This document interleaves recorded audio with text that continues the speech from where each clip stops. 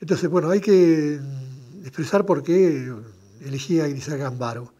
Simplemente porque creo que es, dentro del campo de la literatura argentina, aquella mujer que ha calado más profundamente en la, en la expresión de los femeninos desde un lugar que habitualmente no es abordado este, y que ni siquiera las cuestiones de género abordan, sino que es un lugar que está mucho más abajo situado. Para decirlo así, está situado en el lugar mítico, donde los hombres no saben que están respondiendo a una este, expresión en sus vidas, una expresión y a una actitud de, enfrentamiento movida por una estructura mítica cuyo origen y cuya penetración en sí mismo desconoce. Este, Grisel Gambaro cara hasta ese punto. Por eso pienso que la suya no es ni una literatura, como llaman, del realismo mágico, ni una literatura del absurdo. Al contrario, el realismo que consideran los europeos mágico es aquel que descubren aquellos países que no participan de su propia mitología occidental y cristiana. Entonces por eso dice es lo mágico. No se dan cuenta que en Europa hay también un realismo mágico, solamente que forma parte de la cotidianidad vivida, ¿no es cierto? Y por lo tanto no lo perciben como tal, son inconscientes de su propia mitología.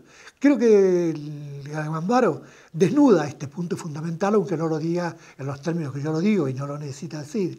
Lo hace este, llegando hasta, hasta tratar de, de describir los detalles, la, trama menuda de los afectos y de las relaciones, como, para encontrar allí el fundamento de esto que acabo de decir, ¿no es cierto? Ese lugar de lo femenino que ha sido en la cultura nuestra, la cristiana, mitológica, repito, es completamente dejado de lado y convertido, por lo tanto, a la figura de la mujer en algo persecutorio para todos nosotros.